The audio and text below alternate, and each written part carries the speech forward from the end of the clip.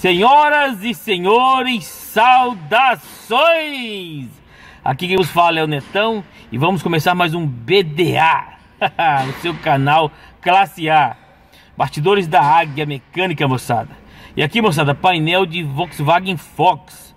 Como apagar a luz da revisão imediata, moçada? Quando o carro precisa de revisão, essa revisão está pronta desse Fox, e aí você dá, liga a chave, ó, aparece no painel essa informação aí, ó.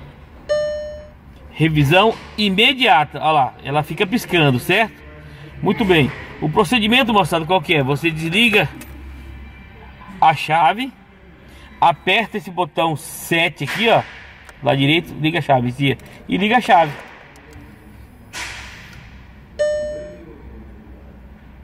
E fica segurando por alguns uns alguns segundos que a luz vai apagar.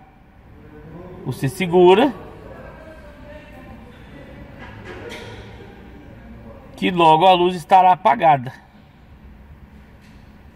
Conta na sua mente aí uns 15 segundos.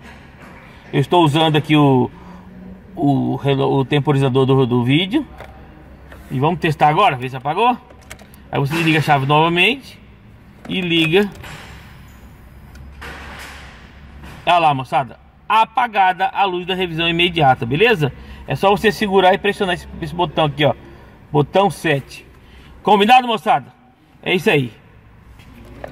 Dá uma bicada nesse like, se inscreve no canal. Até mais.